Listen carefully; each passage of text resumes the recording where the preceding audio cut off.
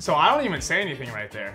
I just like kind of looked at him, and then he started talking. Yeah, he started talking. He's like, which is I respect. Like, like you just got blocked. He's still trash talking. He was like, okay, what what was said? he, he was like, he's like, we can't run away if you're trash talking. And I was like, well, you guys are talking a while. I'm gonna stand up for him. He's like, what'd I say?